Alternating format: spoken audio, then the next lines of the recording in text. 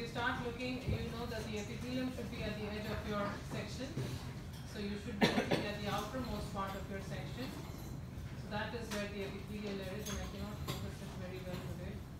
But what you need to appreciate in your own sections are, is that you will see one layer of epithelial cells right here and you can see these branches, these hair-like structures that are sticking out from these epithelial cells that will actually help in odorants and then the rest of the process carries on from there.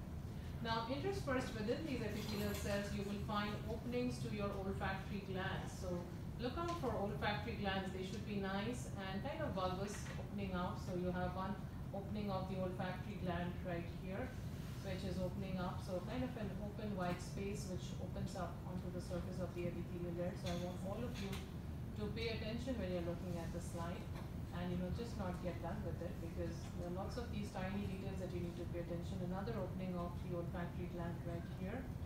And then whatever tissue comes underneath this, this is all connective tissue. So this is all areolar connective tissue. This is your lamina propria. So this also has blood vessels, it has lymphatic vessels, but mainly it's areolar connective tissue.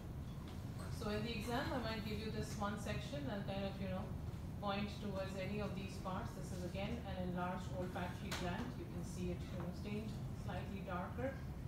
And I can ask you to identify what is this section and what is this layer that the pointer is on. What is this layer called?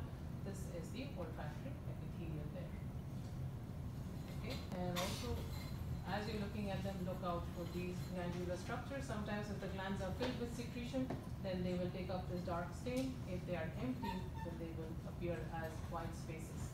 But distinct large blotches, which you might not see very clearly on the screen now, but you can see them on your own slides. And that's the reason we've taken out microscopes for you because you need to see these sections for yourself.